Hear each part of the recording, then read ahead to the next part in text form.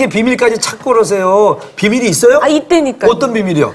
예를 들어서 콜라 있잖아요. 콜라. 요거 한때는 약국에서 파는 약이었다는 사실 알고 있었어요? 말도 안 되는 소리 하고 있어요. 어, 진짜예요? 무슨 약국에서 콜라를 팔아요? 그리고 우리나라 사람들이 이 매운맛 진짜 좋아하잖아요. 어.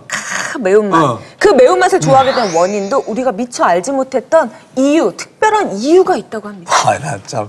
자, 지금 아, 이정민 아나운서의 이야기를 듣고 정말 맞는 말인가 이렇게 생각하는 분들 계실 텐데 음식 속에 숨어 있는 재미난 이야기들이 네. 있습니다. 오늘 채널 고정하시고 함께 하시기 바랍니다. 먼저 박정호 연구위원이 준비한 미니 특강으로 시작합니다.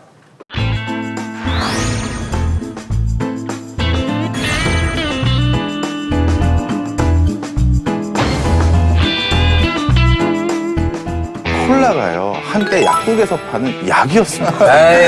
에이, 지금은 보편적인 인류가 가장 애용하는 음료수로 바뀌는 가장 큰 원동력이 경제 원리. 따라서 이 경제 원리를 배우면 직접적으로 나에게 돈을 벌 수 있는 기회도 늘고 주변에 있는 여러 가지 사회 현상을 이해하는 데도 커다란 도움이 된다. 요리 이렇게 한번 만들어 먹으면 사 먹는 거랑 해 먹는 거랑 어떤 게 더 싸요?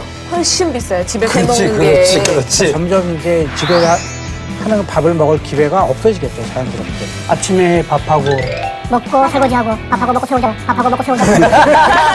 안 먹고 내가 5천 원, 만 원 주고 음식을 사 먹을 수 있다는 것은 혁명적인 것 같아요 저는. 저는 현재 외식은 가정 음식 결제 외식은 이게 일종의 전투 식량 같습니다. 금전적인 치킨만 생각하기 쉬운데 음식을 만드는 시간, 수여하는 그것도 엄청난 비용이